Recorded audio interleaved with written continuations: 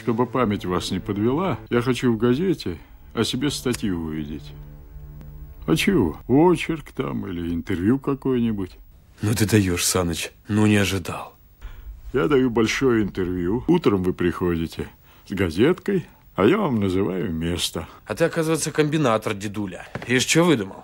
Не ожидал. Не дурней других. С любым первым попавшимся журналистом я разговаривать не буду. Прикажете товарища Познера высвистать, ваше сиятельство? Нет, поздно мне без надобности. А, а говорить я буду с Андреем Серегиным. Это наш питерский.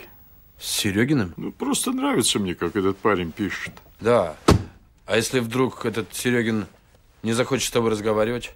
А чего ему не захотеть-то? Для умного журналиста интервью с таким, как я, это вроде как бы сенсация. Ну ладно, ладно, молчу.